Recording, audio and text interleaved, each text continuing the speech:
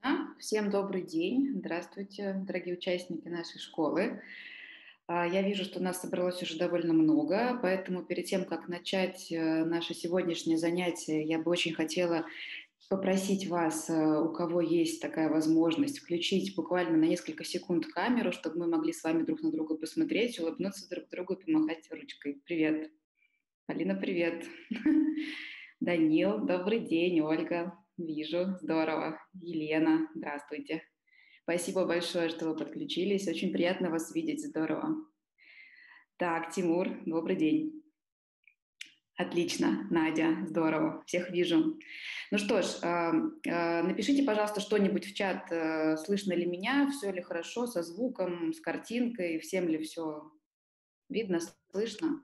Слышно, слышно, вижу. Спасибо большое. Ага, все прекрасно. Ура! Ну что, тогда у нас с вами все как обычно. Я буду транслировать вам сегодня презентацию, э, рассказывать о всяких э, интересных источниках информации, данных. Я думаю, что часть из вас, конечно же, уже знакома э, с той информацией, которую я буду сегодня представлять, но для кого-то она будет в новинку, поэтому ну, те, кто уже в курсе, пожалуйста, наберитесь терпения. А, ну, э, все ссылки полезные я сброшу вам в общий чат, так что можете не переживать, не стараться быстро что-то записывать, просто смотрите, внимайте и э, задавайте ваши вопросы в чате. Я в конце обязательно постараюсь на все ответить. Вот. Сейчас я тогда включаю демонстрацию экрана. Мне вот говорит программа, что организатор отключил демонстрацию экрана участников. Я прошу организатора все-таки дать мне такую возможность.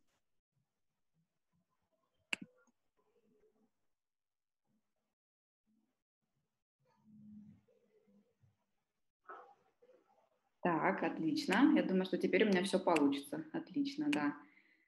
Спасибо. Так, ну вот. Вроде бы все видно должно быть. Да, хорошо. Значит, э, тема сегодняшнего мастер-класса – это открытые источники данных, дистанционного зондирования Земли и другие полезные инструменты. Э, это обзор Поэтому а, сначала вкратце, что обсудим.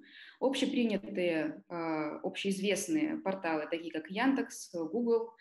А, потом пойдем по более своеобразным, такие как Викимапия, WorldView, Glovis, космоснимки. Я покажу несколько примеров. Ну и дальше уже совсем посмотрим э, своеобразные, которые, может быть, пригодятся не всем, но тем не менее. Вот, о них тоже стоит упомянуть. Это кадастровая карта Росреестра, ОСМ, карта пожаров, Ленд-Лук и Sentinel Hub. А, достаточно много информации, поэтому пробежимся достаточно оперативно.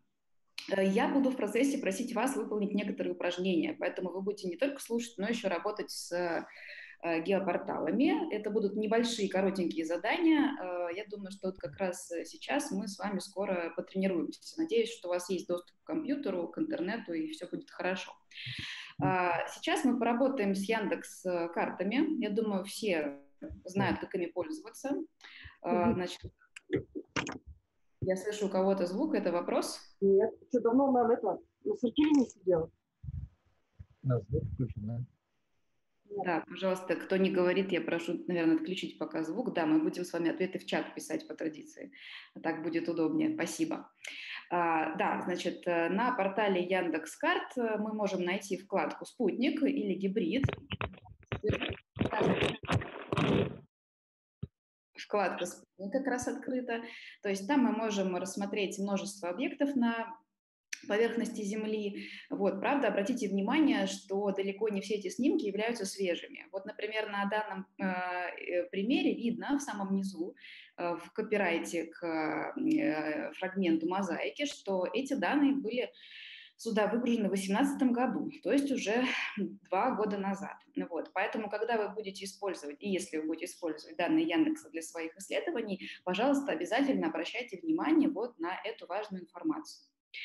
А, хорошо, тогда первое задание. Я попрошу вас зайти на геопортал Яндекс.Карты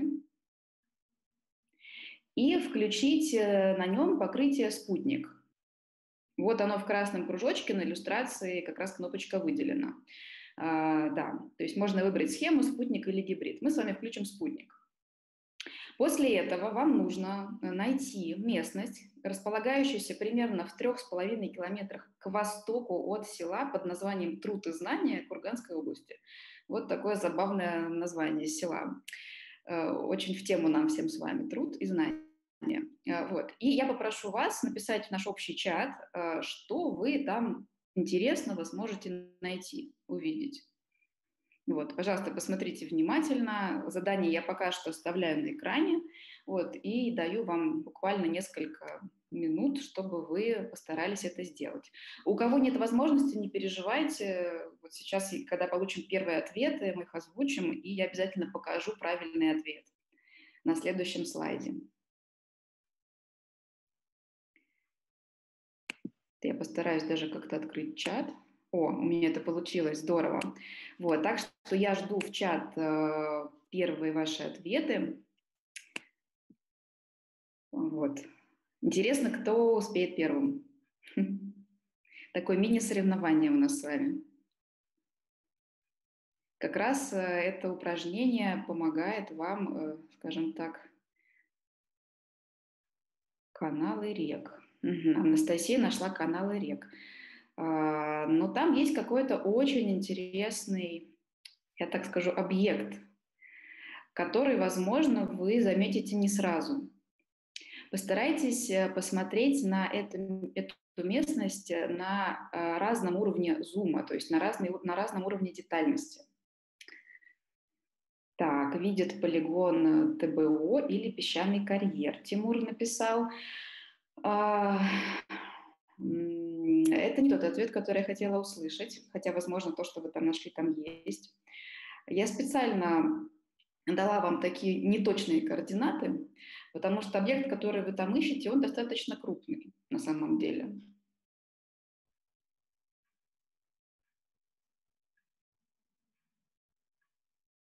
Так, пока мы ждем следующих комментариев, я скажу, что, э, в общем-то, умение работать э, с геопортальными технологиями – достаточно хорошее умение. Фото с другого спутника, пишет Вадим. Ну, а, да, там действительно есть, э, мы с вами, смотрим именно спутниковое изображение, да, то есть что-то, что существует на снимке в реальности, изображение из космоса. Так, видит Тимур цветущее озеро. Я дам подсказку. То, что мы ищем, создано человеком. То есть это, скажем так, эм, нечто, что с одной стороны относится к природе, с другой стороны создано руками человека. Какие-то плантации, пишет Вадим. Водохранилище видит Лилия, так. Ну, пока... Так, вырублены леса. Вот Надя пишет про леса. Значит, э, Надя пока что ближе всех, потому что она употребила слово «лес». Э, обратите, пожалуйста, внимание на зеленые насаждения. Там с ними связано то, что мы с вами сейчас пытаемся найти. Посадка леса. Да, а, Андрей Соловьев, посадка леса. А у вас есть какое-то предположение, что с ней такого интересного? Почему я хочу именно, чтобы вы обратили внимание на лес?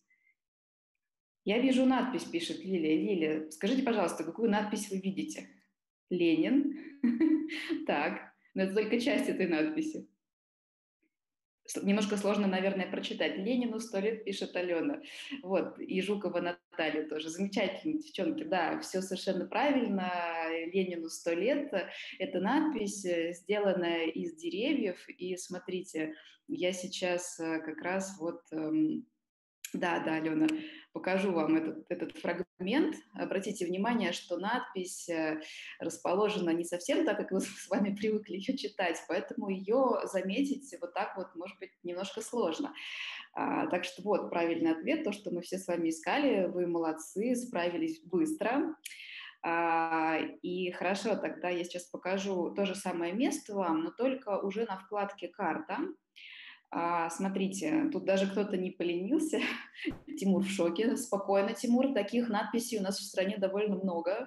Э, так что можно найти и слово и Ленин, и Россия, и Октябрь, и чего только... Да. Так что у нас народ творческий, э, и космосом увлекались, и понимали, что это будет. Ну, из самолета, конечно, видно, и из космоса в том числе. А, ну так вот, так, здорово, теперь я не могу брать чат, и чат загораживает мне мой экран. Ну хорошо, я постараюсь без него. А, значит, смотрите, э, Эту надпись вот на карте э, сделали, в общем-то, пользователи Яндекса.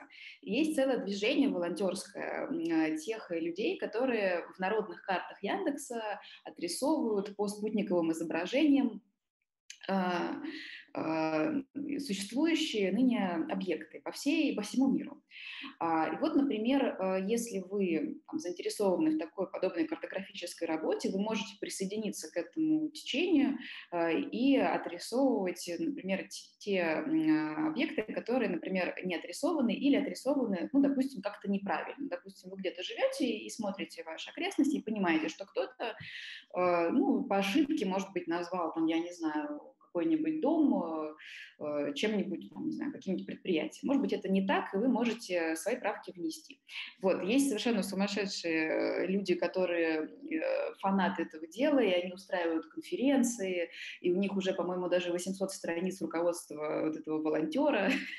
Вот. Но это на самом деле очень классная работа, потому что, во-первых, она помогает найти, изучить, исследовать много интересного, она помогает другим пользователям. Например, очень здорово, когда обновляются картографические данные. Допустим, на старой карте есть дорога с остановками общественного транспорта, на новой карте этой дороги может уже не быть, потому что она заросла, разрушилась, там, я не знаю, остановку перенесли. Вот. И кого-то вы можете такой информацией своевременной, объективной сильно выручить. Ну, хорошо, а, тогда поехали дальше. С Яндексом примерно все понятно. Я вижу, что вы э, с этим геопорталом знакомы. А, тогда следующий инструмент, который вам, я думаю, знакомый тоже пригодится, это программа под названием Google Earth Pro или Google Планета Земля. А, эта программа доступна в разных вариантах. Вот я вам сейчас транслирую главную страницу которая будет доступна по ссылке, которую я вам пришлю, Google «Планета Земля» в интернете для мобильных устройств, а также вот у меня выделена в оранжевый овал Google «Планета Земля» для компьютера. А я очень рекомендую установить вам на компьютер эту программу, она бесплатна. И в чем ее большой плюс, так это в том, э, что вы можете в режиме 3D рассматривать э, любую точку земного шара, и э, есть вот в верхней панели инструментов, подсвеченная синеньким цветом сейчас кнопка с часами и стрелочкой. Эта кнопка позволяет вывести на э, ваш экран в левом верхнем углу сейчас видно как раз таймлайн, то есть линейку, на которой видно, какой, какого года, какой даты снимок вы можете загрузить и посмотреть. А, на разном зуме эта линейка, естественно, будет меняться. То есть, эм, допустим, если вы приблизитесь к какому-то городу или населенному пункту, возможно, вам там Google предложит посмотреть подборку снимков с последние там, 10 лет. Вот. Э, возможно, если вы измените э, масштаб, то вам предложат посмотреть что-то более раннее. Вот. Это, конечно же, очень сильно зависит от местности. Понятно, что у нас э, наша страна покрыта съемкой разных лет совершенно неравномерно. А, но я надеюсь, что э, все равно вы получите массу удовольствия, просматривая разновременные снимки, наблюдая за изменениями на территориях, э, которые могут быть вам интересны, так называемые ваши районы интереса, районы ваших исследований. А, значит, что здесь э, в Google Планете Земля можно еще посмотреть и сделать? Вот э, если вы включаете слева панель управления, вот, можете посмотреть или подключить различные слои, или даже создать свои собственные, где вы можете с помощью инструмента линейка, полигон, который есть в верхней части э, вот, экрана, видно их там, да, нарисовать что-то, выделить, измерить, сохранить, даже распечатать, поделиться и так далее. Я рекомендую очень вам этим пользоваться пользоваться. А, также можно фотографии подключить, посмотреть что-то на местности, сеть дорог, 3D-модели а, каких-то зданий, объектов инфраструктуры, а, какие-то метки поставить интересные или почитать чужие. В общем, это очень хорошая, интересная возможность э, посмотреть э, на любую точку нашей страны, и не только.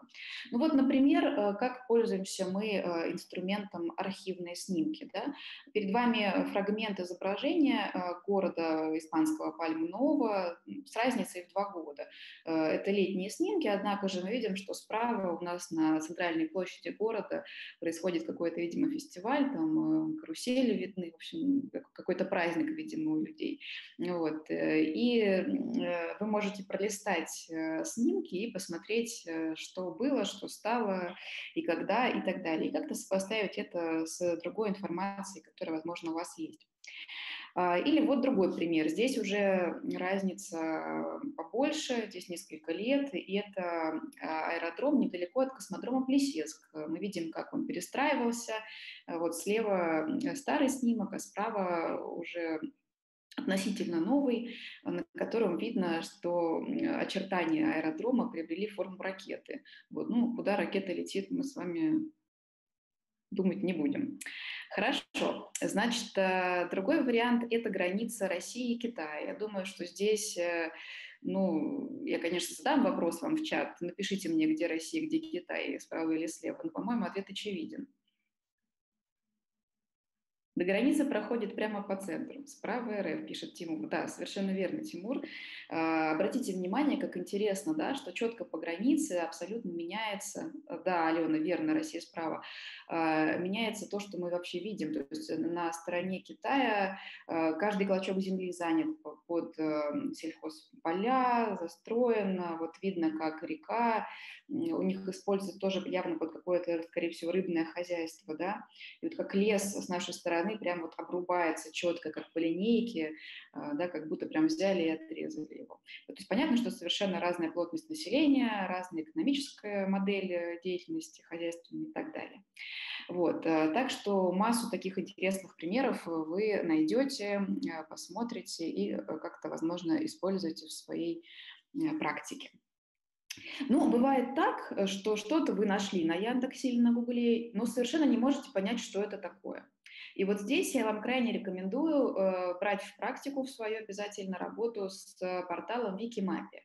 Викимапи – это бесплатный сайт, э, географическая энциклопедия онлайн, которая создавалась довольно уже много лет э, э, и была основана нашим соотечественником.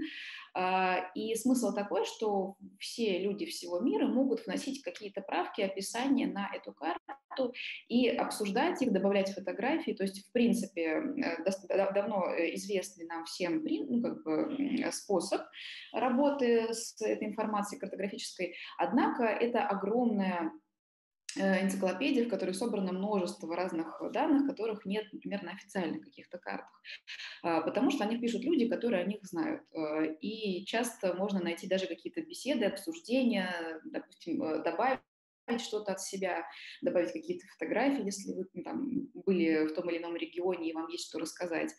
Возможно, какие-то даже исторические факты. Ну, то есть вот, например, здесь просто вы можете навести а, курсор на какой-то объект, он подсветится и прочитать про него. И получить вот такую, например, ссылку, как вот на этом кадре. Вот, например, первая попавшаяся деревня, а, которая вот тут написано, что, во-первых, бывшая, во-вторых, что в конце XIX века там был один двор, 10 человек, и столько-то земли там обрабатывалось и так далее. Вот. И ну, это достаточно обыкновенный э, Э, обыкновенная единица информации, а можно найти совершенно чудесные вещи, очень интересные. И э, я крайне рекомендую сравнивать то, что вы видите на, например, спутниковом снимке, с тем, что вы видите на Викимапе. Не факт, что описано все, однако лозунгом этого проекта является э, «Let's describe the world», ну, то есть давайте опишем весь мир, и уже несколько там, десятков миллионов объектов там присутствуют. А, так что обязательно пользуйтесь. А теперь э, я еще вам хочу задать одну задачку, а, и будет она связана с геопорталом под названием WorldView. Это насовский геопортал, э, на котором отображаются данные низкодетальной съемки оперативные со спутников АК, ВТР, СОМИН, ПП и прочих. Также там очень много э, различных информационных слоев по экологии, в том числе, например, маска пожаров, а, аэрозоли, загрязнение атмосферы. А, он на английском, это небольшое ну, как сказать, такое вот, может быть, усложнение, однако, в принципе, интуитивно понятен. То есть э, слева у нас, опять по традиции, находится панель управления со слоями, которые можно включать и выключать. Включенный слой у нас с вами подсвечивается светлым цветом, выключенный, там, где глазик зачеркнутый, он темно-серый. И вот, например, э, спутник Terra Modis сейчас включен у нас, да, на экране его видно. И мы с вами наблюдаем территорию Калининградской области. Можно подключить э, название городов, населенных пунктов. Это называется Place Labels. Это первая строчка в меню. Э, также границы, дороги э, и так далее. Э, и, собственно, таймлайн внизу можно менять э, дату, месяц, год э, или просто пользоваться бегунком. Справа находится линейка, можно измерить протяженность объекта линейного какого-то или площадь, ну, допустим, чего-нибудь. А, значит, теперь давайте задание. Значит, задание такое. Вам нужно зайти на этот сайт. Давайте я попробую написать в чат, может быть, вам ссылку, если это сложно. Так, кому сложно? worldview.earthdata.nasa. Так, вот, попробуйте, должно получиться скопировать. Значит, и нужно определить, что в последние дни ну, в том числе и сегодня, у нас с вами происходит э, в районе центра, центральной части Якутии. Вот, и я предлагаю вам обратить внимание на снимки от 20-х э, чисел июля, то есть последние три дня, но можно и раньше, смотрите сами. Со спутников Аквы или Терра, в принципе, это не так важно. И давайте я даю вам какое-то время, э, пишите ответ в чат, и потом мы по традиции определим первого, кто напишет правильный ответ, и я вам покажу, собственно, на следующем слайде, а что такого мы с вами ищем. Потренируемся работать теперь с таким геопорталом. Так, Полина Романова уже отвечает, что там пожары. Полина скоростная. Да, действительно. Там э, очень хорошо видны дымные шлейфы от природных пожаров. Давайте тогда, раз это оказалось так просто, мы с вами перейдем на следующий слайд и посмотрим, э, как это выглядит. Вот у меня сейчас открыто 21 июля и спутник Аква, то есть э, тот слой, который выше в панели управления, тот у нас с вами отображается в данный момент на экране. И видны, собственно, гари невооруженным взглядом а, темного цвета, темно-коричневого, темно-зеленого, и действующие пожары, а также вот эти дымные шлейфы, которые распространяются в данном случае на, по направлению на северо-запад. А, это окрестности к северу от поселка Зырянка. А, да, и вот я даже экспресс-методом Сейчас я попробую передвинуть слайд. Да, а, экспресс-оценка вот у нас такая состоялась сегодня. Мы померили просто вот эти вот активные шлейфы. А, получается, что примерно на 150-200 километров они распространяются. И э, вот эти гари, которые мы измерили по площади, составляют порядка 1000 квадратных километров. Ну, собственно, на данном э, изображении в одном пикселе мы с вами видим порядка там, э, километра. Ну, можете себе представить да, масштаб бедствия, и это происходит прямо сейчас. Тимур спрашивает, как облака убрать? А, скажите, пожалуйста. Тимур, значит, смотрите. Э, ситуация следующая. Э, у нас э, спутники Якова, Терра и прочие, которые в оперативном режиме в постоянном снимают Землю, вот эти конкретные спутники дважды в день, как я вам уже рассказывала, передают полное покрытие на наши станции. А, собственно, они снимают все подряд, это оптические снимки. И, естественно, в кадр попадает атмосфера. Иногда снимки абсолютно облачные. То есть мы видим не столько Землю с вами, сколько Землю и атмосферу, все атмосферные явления. Иногда атмосфера такая плотная, ну, в смысле, облачность настолько плотная, и такой, может быть, большой циклон, что мы под ним увидеть ничего не можем. И это особенность именно оптической съемки. А, спутники менять вы можете посмотреть в перечне возможных слоев, которые можно подключить. А, значит, а, поэтому убрать облачность на этих снимках не получится. Мы с вами можем лишь отматывать на таймлайне даты, то есть смотреть съемку каждый день и смотреть, что там происходит. То есть иногда местность, которой вы интересуетесь, может быть полностью закрыта облаками даже несколько дней. Поэтому очень важно смотреть разные спутники, да, вот как Вадим правильно тут спрашивает, э, и Суоми, и другие доступные вам. Да, э, значит, э, на геомиксере можно действительно смотреть аквовую терру в другом, другой комбинации каналов, в которой меньше видно именно дымные шлейфы и больше видно гари привычка, Тимур, отличная привычка, я тоже нежно любовью люблю геомиксеры, мы с вами скоро про него тоже поговорим. Значит, э, Э, есть э, спутниковые снимки, которые а, радиолокационные, они оптические, и они как раз-таки не видят облачность. То есть они сразу снимают Землю в любое время суток, но выглядят они иначе, используются для других целей, и они недоступны нам с вами в открытом доступе, к сожалению. Вот, это коммерческие данные, достаточно дорогие, и таких спутников сейчас пока что достаточно мало. То есть вот есть Р-62 канадский, который используется для ледовой обстановки, судовых проводок и так далее в различных э, таких узкоспециализированных целях. Вот, э, поэтому мы с вами используем то, что есть. А то, что мы с вами видим на Яндексе и Гугле, на безоблачных мозаиках, так это мозаики, созданные из разных э, безоблачных частей снимков, сделанных в разное время. Вот именно поэтому на Яндексе можно часто видеть мозаику, такую вот, как лоскутное одеяло. То есть где-то кусок зимнего кадра, где-то осенний, где-то лучше освещен, где-то хуже. Ну, э, это обусловлено тем, что чаще всего мы с вами снимаем все-таки населенные пункты по заказу высокодетальной съемкой. А места, где никто не живет, э, часто снимаются низкодетально, а вот, э, допустим, высокой детальности за какой-то достаточно недавний срок мы с вами можем и не найти. Ну что ж, хорошо. А, давайте перейдем теперь к Лансату, например.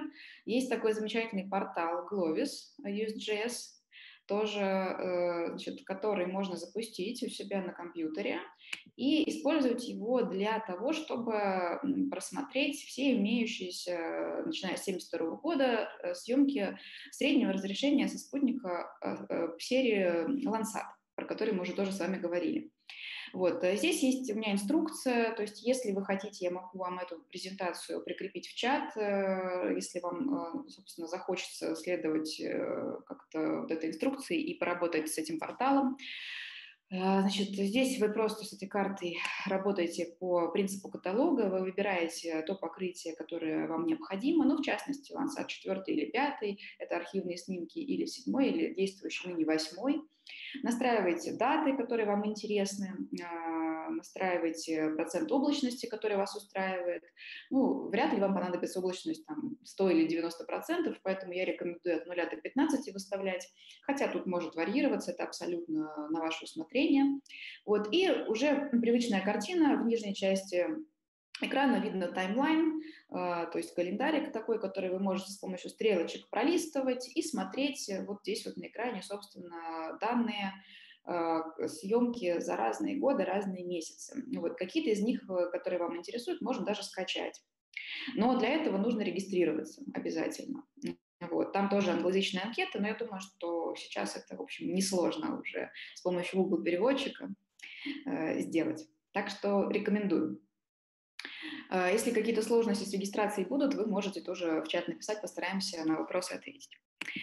А, да, значит, таким образом а, можно все это пролистать, посмотреть, э, соскриншотить или скачать э, и как-то вот с этими данными поработать. Если вы умеете работать, э, например, в программе QGIS или Scannex Image Processor, если вдруг у вас есть такой опыт, вы можете комбинировать различные каналы. Но в рамках нашей школы мы не требуем этого совершенно, потому что понимаем, что времени довольно мало, и эти навыки требуют ну, все-таки времени для освоения. Я знаю, что у нас есть ребята, которые умеют с ними работать, и это здорово. Поэтому если вдруг э, вам понадобятся какие-то консультации э, кому-то, я прошу вот как-то кооперироваться, и, возможно, вы друг другу поможете. Такой будет вот у нас командная работа. А, хорошо. Например, на этом портале отлично видны рубки в Сибири, вот те самые, которые часто горят.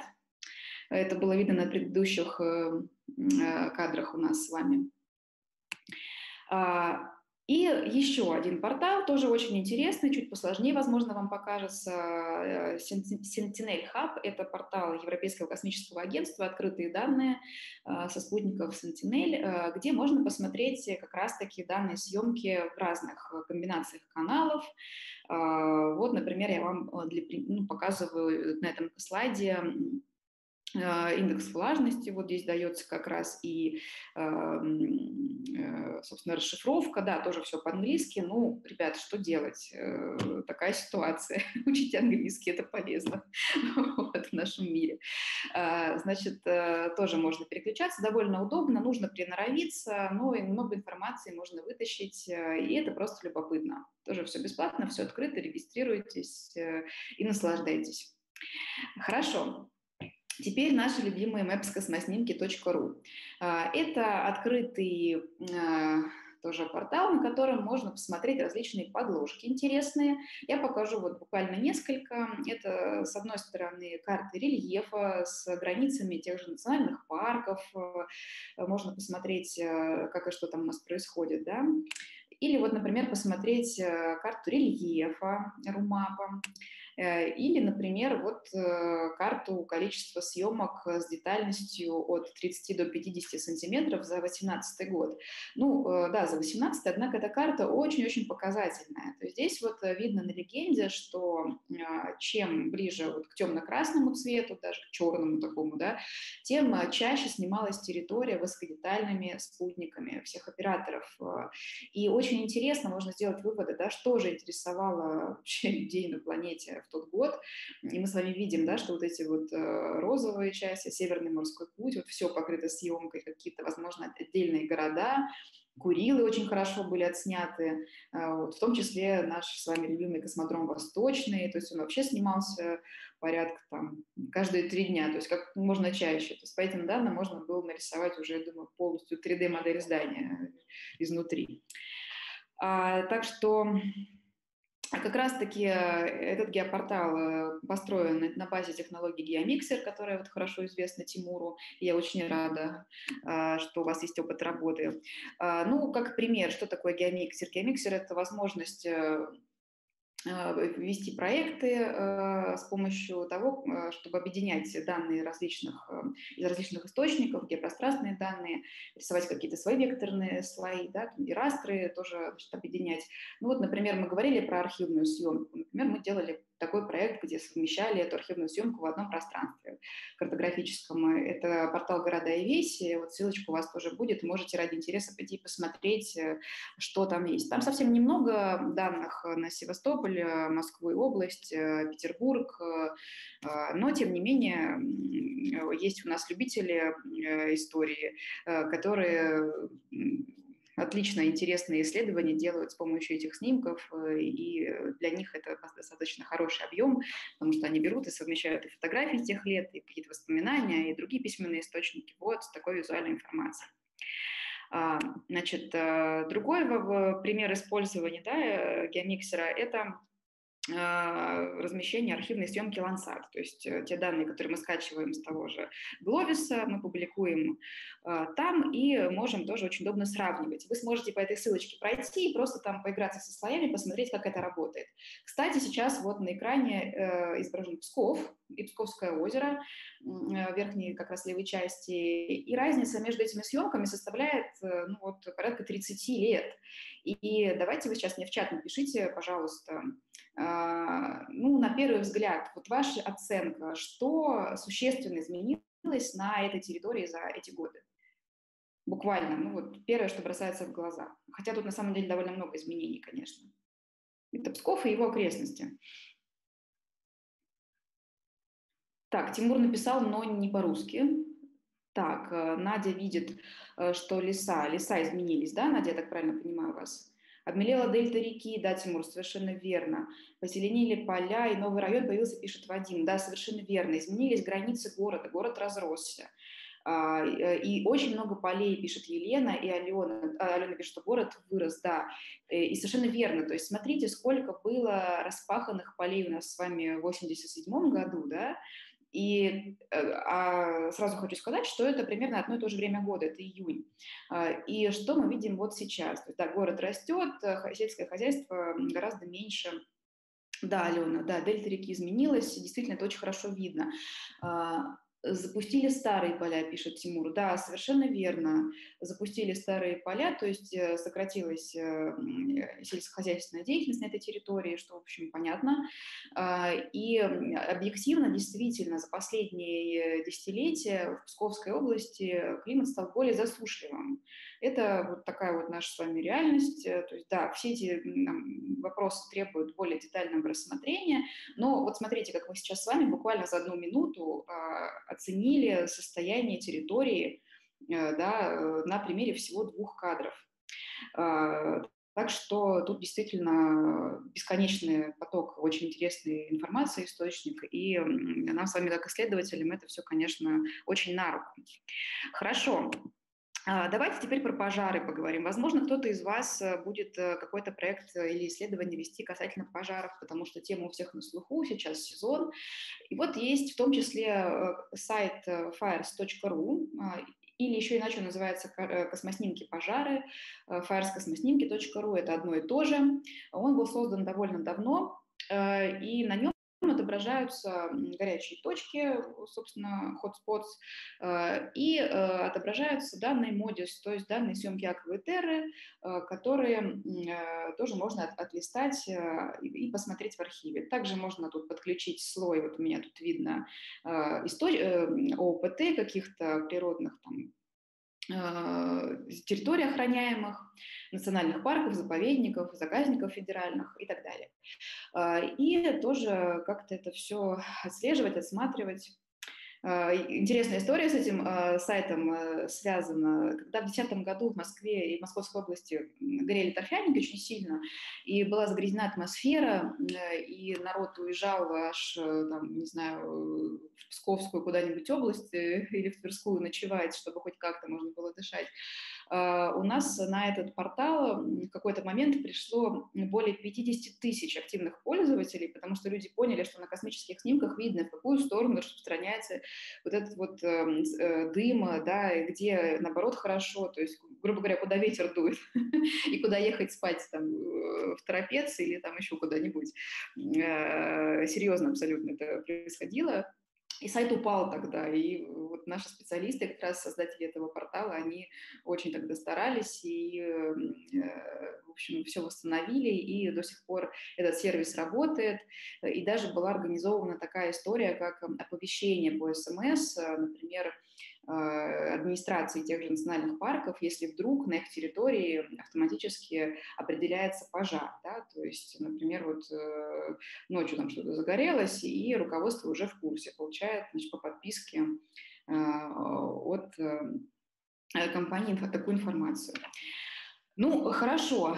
Понятно, что это не все пожары, то есть если вы костер разведете у себя на дачном участке, его на данных такого разрешения будет не видно, но если мы говорим о каких-то крупных э, природных пожарах или, техноген, допустим, техногенных каких-то серьезных авариях, то да.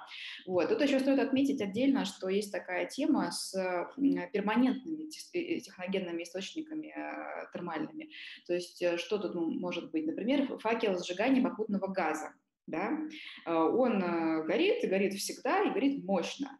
А, естественно, он будет отбиваться на такой карте. Вот. Но здесь э, Вадим говорит, что у вас пожаров нет. Вадим, поздравляю, это хорошо. вот, э, то есть э, программа достаточно умная, то есть э, можно и, как говорится, нейросеть обучить определять такие территории, но, конечно, все равно до сих пор бывают ошибки, поэтому если вдруг вы видите какую-то подозрительную точку, которая горит и горит и бесконечно горит и ничего не меняется, то, скорее всего, возможно, это как раз такой техногенный источник и есть. Для этого есть лайфхак. Вы просто берете и смотрите данные съемки на эту территорию, например, зимой за полгода, например. Если вдруг зимой там точно такая же горячая точка, то ну, списывайте, это не, природные пожары, можно успокоиться. Вот, это какое-то, скорее всего, производство. А, Елена спрашивает, если дом горит, отобразится ли это? Елена, ну смотрите, э, если горит дом, э, то тоже вряд ли, но если, например, горит лес рядом с населенным пунктом, то это можно увидеть. То есть э, мы смотрим с вами, где какая-то активная гарь, и смотрим, где у нас ближайшие населенные пункты. И вот как раз дальше я покажу один очень интересный источник, где можно автоматически определять строение, так называемый геоалерт. Скоро мы до него дойдем. А, но сначала пару слов про публичную кадастровую карту, которая тоже может вам пригодиться. А, значит, публичная кадастровая карта России открыта для всех, а, достаточно полезная штука, где можно посмотреть, э, собственно, любой участок, и выглядит это у нас вот так. Мы выбираем участок, в данном случае вот в Псковской области, э, в районе Пустошкинском, так называемое сельское поселение, Алольская волость. А, кадастровый номер и категория земель указана. То есть это земля поселений, земля населенного пункта для обслуживания жилого дома. То есть все в порядке, жилой дом на участке есть, все хорошо. А, площадь можем посмотреть, и он ранее учтен, и все в порядке, он зеленым цветом подсвечивается. А, соответственно, если вдруг вы находите свалку на сельхозземлях, это нарушение. Если вы находите, например, лес на сельхозполях, это тоже не то чтобы это нарушение, но это объективная вот такая вот наша реальность, которая тоже вполне, э, в общем, может дать нам ну, какие-то пищу для размышлений да, и для наших исследований. А, поэтому не забывайте, вот, это тоже важно. Ну и, наконец, обещанный портал geoalert.io. ИО. А, значит, это сервис по определению количества построек в районе интереса. Значит, э, можно посмотреть демо-примеры по ссылке. А, я здесь в презентации пишу вам инструкцию, как это делать. Э, сейчас я просто покажу, да, быстренько ее пролистнем, посмотрим. Значит, э, для отрисовки своего района интереса нужно приблизить карту до нужного размера. То есть я вам советую не брать большие территории, потому что программа считает в режиме реального времени, и довольно сложно будет, если вы сразу там большой какой-то полигон нарисуете. Да, обязательно нужно зарегистрироваться, но это несложно. У меня получилось это сделать просто с помощью моего Google аккаунта. А, буквально одним нажатием кнопки. А, мы выбираем с вами какую-то территорию, вот нам разрешает э, нарисовать нашу какую-то наш полигон программа, мы его рисуем и нажимаем кнопку слева, которая называется Run Processing, то есть э, начать обработку, и какое-то время нужно подождать, то есть чем меньше полигон, тем меньше времени займет его обработка. А, и по итогам через там несколько секунд или минут вы можете скачать себе на компьютер PDF-отчет по этой территории. Смотрите, вам программа показывает э, кусочек космического снимка, по которому она считает, и э, цветом э, показывает постройки, которые она определила автоматически на этом снимке. Значит, здесь есть вот такой нюанс. Она показывает Видите по-английски apartments, houses и other, то есть э, дома, апартаменты и что-то другое. Ну, я рекомендую все-таки немножко критически относиться, потому что считает э, искусственный интеллект.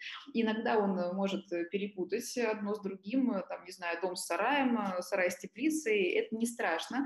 Нам с вами гораздо важнее общее количество построек на этой территории. То есть по этому показателю мы можем примерно понять, есть ли там вообще что-то такое крупное, какое-то поселение или нет. Вот. Еще очень интересно бывает так, что есть какие-то населенные пункты, где которых нет на карте, но они существуют в реальности на снимках.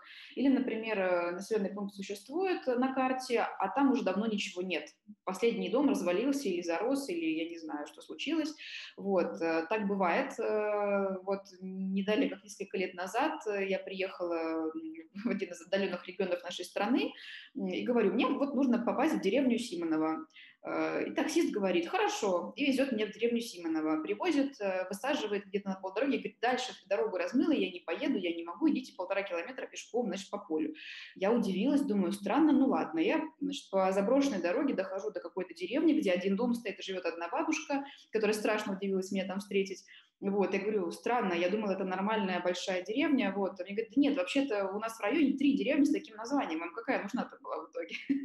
вот, ну, то есть, эм, и потом я поняла, что вот этой вот э, деревни, в которой была я в реальности, ее не было на карте, но ее знали местные таксисты. Так что это очень интересно. А, и советую это использовать. Вот, кстати, пример как раз а, тоже работы с этим источником. То есть здесь деревня указана, но а, программа посчитала вот эти вот домики, постройки желтенькие, да, как постройки, относящиеся к иной категории. На самом деле это дома, конечно же. Вот, э, это я знаю наверняка, поскольку это деревня, в которой живут мои родственники. Хорошо, значит, Дальше, завершаем потихонечку с вами. Я хочу вам обязательно дать ссылку на раздел обучения на сайте программы «Дежурный по планете» ondutyforplanet.com links, там есть как раз вот раздел обучения. Там приведены э, ну, достаточно много ссылок на учебные материалы по ГИС ДЗЗ, по анализу космических снимков. А, там есть и видеокурсы, и как раз вот те источники, о которых мы сегодня с вами говорили и так далее. То есть и, и все открыто и бесплатно, пожалуйста, изучайте, смотрите. Там есть ссылки на статьи на форуме GISLab. Это очень полезный форум для тех, кто работает с данными ДЗЗ. Там можно задать вопросы, вам а, сообщество постарается ответить. Можно найти ответы на какие-то вопросы, которые ранее задавались участниками, инструкции по комбинации каналов. В общем, масса полезной, хорошей информации. А, вот. Э, ну, я вижу у Арины тут есть вопрос. Подскажите, пожалуйста, каким образом и в каком сервисе можно отследить незаконный забор воды предприятием? Ну, Арина, хороший вопрос. На самом деле, что значит забор воды предприятием? Нужно смотреть, э, это такая творческая задача у вас. Э, я бы рекомендовала смотреть вот те сервисы, которые я сегодня рассказала и которые, возможно, есть в разделе обучения. А, то есть тут надо уже смотреть конкретику. То есть что вам будет удобно, то и смотрите. А, вот. Но предприятие это все-таки подразумевает скорее больше высокодетальные данные. А, к ним не всегда есть оперативный доступ. Ну, как вы понимаете, ситуация такая на рынке ДЗЗ, что а, оперативные данные высокого разрешения по заказу – это данные платные, да, за которые мы должны платить операторам спутниковой съемки в большинстве случаев. А, и это достаточно дорогостоящее мероприятие, э, вот. Э, но такие данные все равно потом появляются так или иначе со временем в открытом доступе. Или, например, есть какие-то возможности получить там в рамках образовательного проекта. Но это все, конечно, э, частные случаи. А, вот. А, смотрите, ну, тогда все ссылки и презентацию, наверное, я вам сбрасываю в общий чат нашей школы. Не забывайте подписываться на наши соцсети, у нас там весело и интересно. А, чем больше народ, тем лучше. А, давайте тогда еще вопросы или пишите ваши впечатления, и у нас как раз остается с вами минут 10 передохнуть, и потом будет опять же сессия с организаторами, экспертами, где мы с вами поговорим, пообщаемся, я еще кое-что интересное расскажу. А, так, ну что, тогда дайте мне, пожалуйста, какую-нибудь обратную связь, давайте я выключу презентацию, так, получилось у меня выключить, да, кажется. Здорово. Так, угу. ну что, Полина, спасибо, спасибо, здорово, да, отлично. Супер. Ну что, тогда делаем перерыв. Ставьте плюсики, если все согласны. 10 минут чаю попить можно. Да, все согласны. Ура, ребята, ну отлично. Все, спасибо, спасибо большое. Супер. Давайте, тогда я временно отключаюсь, и через 10 минут мы с вами тут, тут же встречаемся по этой ссылке. Все. Отлично. Пока-пока.